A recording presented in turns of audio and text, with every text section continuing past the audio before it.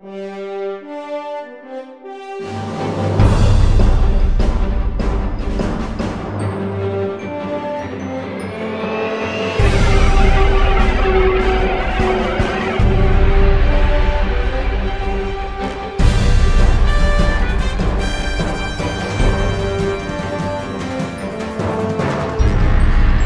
So welcome to Winter Engineering Update, uh, first one of 2023, so belated happy, uh, happy new year to you.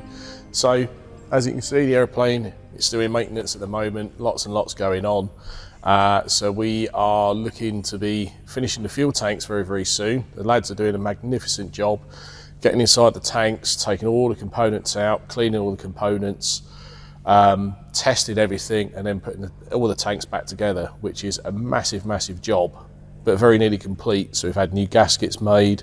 Um, the tank lids, they've all been off, they've all been shot blasted, they've all been treated with selenious acid, etch prime, painted, PRC, so it's like a rubberized sealant that goes on the back of the tank lid. Um, so all those hopefully next week should be fitted. Um, and then we'll have to wait until the aeroplane goes out to put fuel in and we'll leak test all the tanks after that. Um, the PFCU indications, we've been going through that. We found a couple of defects, um, just one tiny pin on the back of one of the sockets that go into the PFCU control panel. One of the pins was bent, it's thrown up a multitude of problems. Um, so the indications were just all over the place. Other problems we've had on the PFCUs, number two and number four PFCU have got air inside them, so there's obviously a seal that's gone on the RAM. Um, so they're off now. Um, they're being resealed. They're going to go onto the test rig. They'll be bled uh, and tested on the rig itself. So that's why we've got it here. Uh, they'll be fitted and then we'll do all the range of movements on the elevons and we'll see how they go. Um, engine filters, the fuel filters on the engines, they've all been off. They've all been through an ultrasonic bath and cleaned. So they're all now back on. So when the aeroplane goes out again and we've got fuel on board, the filters will be bled um, and then hopefully we'll be ready for engine start, which will be good. Um, couple of the engine hydraulic filters on one number one engine, the pop out indicator had popped. So a new filter has been fitted. Pleased to report in the filter bowl, uh, there's no debris in there, so there's no metal particles or anything like that. Or the mag plugs on the engines, um, they're like a little magnetic plug that sit in the in the oil. So anything that passes through the engine, if you've got a bearing breaking down or you know part of the gearbox, whatever like that, it'll pick the particles up and it'll be on the mag plug.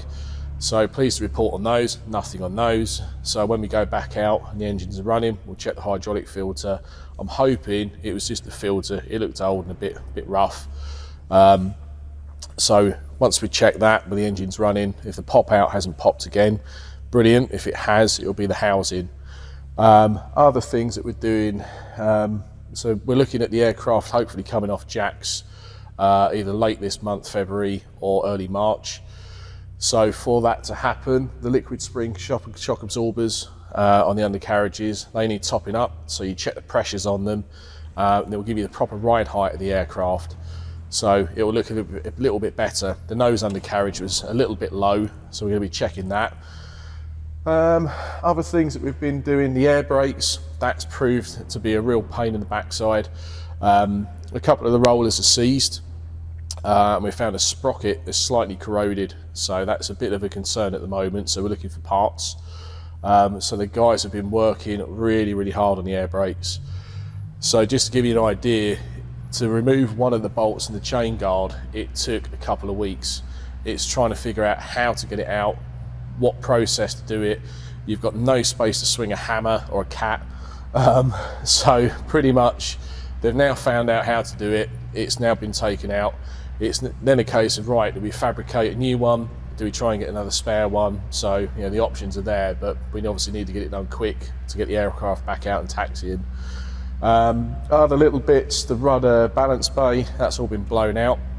Um, there was tons and tons of crud in there, um, dirt for the past, I don't know, 30, 40 years that's been in there. So that's better. Um, anchor nuts are being replaced on that. The parachute bay. Pleased to report the parachute bay is now working as advertised. It goes, the door goes up and down, the parachute um, hook assembly, it closes as it should. So all being well this year, you might see 426 of the parachute at the back, fingers crossed.